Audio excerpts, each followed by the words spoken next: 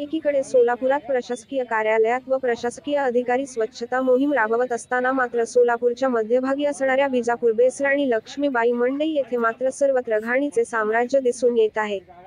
याकडे प्रशासकीय अधिकारी किंवा संबंधित मनपा आयुक्त जाणून बुजून दुर्लक्ष केल्याचा आरोप संबंधित रहिवाशांनी केलेला आहे. विजापूर बेस येथे राणी लक्ष्मीबाई मार्केट येथे नेहमीच घाणीचे साम्राज्य असते याकडे प्रशासन तसेच संबंधित अधिकारी स्वच्छताकडे दुर्लक्ष करीत असल्याचे नागरिकांनी सांगितले. तसेच याकडे इतके दुर्लक्ष झालेलं आहे की त्या ठिकाणी मोकाट जनावर मृत्यू होऊन दोन तीन दिवस झाले तरी त्याकडे संबंधित अधिकारी व मंडळी अधीक्षक साफ दुर्लक्ष करत असल्याचे दिसून येत आहे. लवकरात लवकर स्वच्छता संदर्भात निर्णय घेऊन स्वच्छता नाही झाल्यास नागरिक तीव्र आंदोलन करणार असा इशाराही स्थानिक नागरिकांनी दिला आहे. नहीं मेरा नाम बोल बिंदास. करने का तो सामने से करने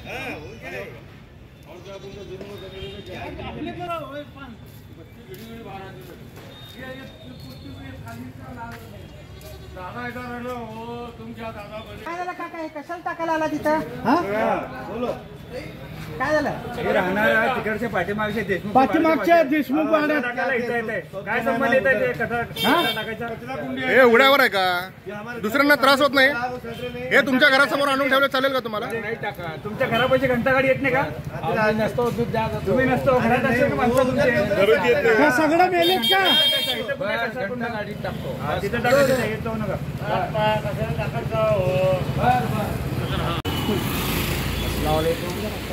मैं एजाज बागवान लक्ष्मी मार्केट, शुक्रवार पेट का रहने का रहवासी हूँ। और यहाँ पर जो है, बीजापुर में लक्ष्मी मार्केट का जो हमारे लक्ष्मी मार्केट में जो मैदान है, यहाँ पिछले स्मार्ट सिटी के आड़ में जो है, जो जगह का दुरुपयोग किया गया है और यहाँ पर जो है ना पूरी मैदान को जो है ना खुला छोड़ दिया गया है।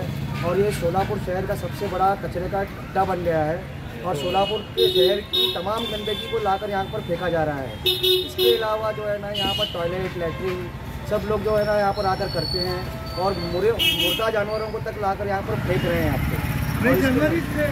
और ये पूरे जानवरों की चरागाह बन गई है। और तमाम जानवर जो है ना सोलापुर शहर में जो चरने वाले जानवर जो है ना यहाँ पर जो है ना आराम करते हैं आकर यहाँ पर उनको चारा डाला जाता है सारा इंतज़ाम यहाँ पर किया जाता है।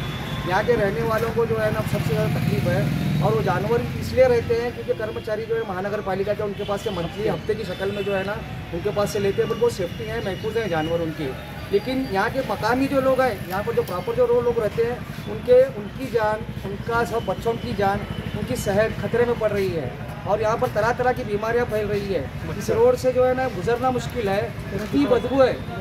और ये इतनी बदबू आप देख सकते हैं यहाँ पर ठहरना मुश्किल है। यहाँ पर जो है ना ठहरना मुश्किल है। और यहाँ पर जो है ना मच्छरों की मच्छर तो इतने ज़्यादा मच्छर हो गए हैं डेंगू का जो है ना यहाँ पर सबसे ज़्यादा खतरा हुआ है और बच्चों को जो है डेंगू की। बीमारियाँ भी हुई है। आप देख सकते हैं किस तरह से जो है ना कितनी इधर- गंदगी इधर का भी है ये दो दिन पहले साफ़ किया हुआ मामला है तो ये हालत है। अगर साफ़ नहीं करते अगर तीन दो चार रोज साफ़ नहीं करेंगे तो जो है ना पूरा मैदान जो है ना तरह तरह की गंदगी से भर जाता है। और सब सोलापुर शहर के लोग लाकर जो है ना गंदगी यहाँ फेंक रहे हैं। यही स्मार्ट महीने से पड़े और पिछले जो है ना पिछले आगे जो है ना जो दूसरा आपको कूड़ा ये पिछले एक महीने से पड़ा हुआ है। ना महानगर पालिका के जिम्मेदार ना महानगर पालिका के कर्मचारी और कोई ध्यान देता नहीं। आज मैं सोलापुर शहर में देख रहा हूँ कि प्राइम मिनिस्टर नरेंद्र मोदी के आह्वान पर जो है सफ़ाई का अभियान चल रहा है। और लेकिन जो है ना वो लोग खाली रोड पर जो है ना सफ़ाई का अभियान कर रहे हैं। और हमारा जो प्रभाग है ये वार्ड जो है ना चार भाजपा के नगर सेवक हैं यहाँ पर। और विजय कुमार देशमुख का ये का मोहल्ला है ये। यहाँ का के एमएलए हैं। यहाँ के एमएलए और उनके चार भाजपा के जो नगर सेवक हैं उनकी जाती ज़िम्मेदारी है। कम से कम हमारा नहीं तो नहीं पंतप्रधान मोदी का सुनकर तो जो है ना सफ़ाई का ख्याल रखें। अभी आपकी डिमांड क्या है इस बात हम यही चाहते हैं कि अगर इस तरह हम बार बार बोलने के बाद भी आप जो है ना इसकी दाद फरियाद नहीं ले रहे हैं अगर आइंदा अगर दो दिन के अंदर इस पर एक्शन नहीं होगा तो हम हम जो गंदगी बर्दाश्त कर रहे हैं हम अपनी सेहत को खतरे में डाल रहे हैं। आयुक्त साहब के घर पर जाकर ये मरे हुए जानवर और ये गंदगी उनके दरवाजे पर हम ले कर फेंकेंगे कि जिस तरह हमने ये तकलीफ़ झेली है आप भी तकलीफ़ झेलें इसको। एक मिनट हाँ, अभी जैसा इन्हों बोले ना अभी हमने थोड़ी देर पहले सोलापुर शहर महानगर पालिका के आयुक्त साहिबा से जो बात की फ़ोन पर और उन्होंने हमको आश्वासन दिया कि मुझे लोकेशन डालिए और हमने मैडम कुछ काम नहीं करे मैडम को। कॉल करे तो मैडम नहीं नहीं गुजारिश है चाहिए क्या चाहिए। हम भी तो इंसान है। हम महानगर पालिका के टैक्स अदा करते हैं सारी चीज़ें अदा करते हैं। सौ डेढ़ सौ छोटे छोटे बच्चे लाके रोज रात में देख कम रहे से हैं कम यहाँ दो पर अढ़ाई सौ जानवर रहते हैं यहाँ पर। और वो चार हज़ार रूपए में लाते हैं एक साल में पचास हज़ार रूपए होता है। इसका कौन है जिम्मेदार? रात और दिन हम रहते बिच्छू सांप सब हमारे घरों में आ रहे हमारे और वो जानवर भी हमारे घरों में आ रहे हमको नाम रखते कि इतने गंदगी के अंदर आप लोग कैसे रहते हैं आने वाले रिश्तेदार तक हमारे घर में नहीं आ रहे। लोग हमको जो है ना बाहर के लोग हमको जो है ये कर। रहे इतना हार्ट ऑफ़ सिटी रहने के बावजूद जो है ना इस तरह की गंदगी फैलाई जा रही है। अरे गंदगी साफ़ सफ़ाई होने के बाद हम जो दीवाल की मांग करते हैं कंपाउंड कोई भी को, कौन सी भी इलाके में से आकर इधर कचरा फेंक कर जा रहा है। अगर हम उनको बोलते हैं कचरा मचो तो हमको झगड़े के लिए पड़ते हैं। किसकी ज़िम्मेदारी है?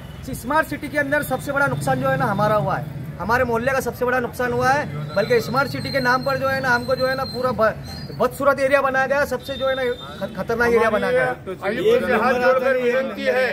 ये गंदगी हमको पाक करके दो हमारे बच्चों का आरोग्य खतरे में है। बिल्कुल बिल्कुल। जब बात हमारे बच्चों तक आ रही तो हम ये पूरा कचरा उठाकर आयुक्त मैडम के घर पास लाकर हाँ फेंकेंगे। हमारी जान को खतरा है। और ये कचरा भी साफ़ होना चाहिए जानवर के आने का भी बंद होना चाहिए। जो भी जानवर जिसके है। उनके घरों के सामने ले जाकर बंधने के लिए आयुक्त मैडम उनको निर्देश दे।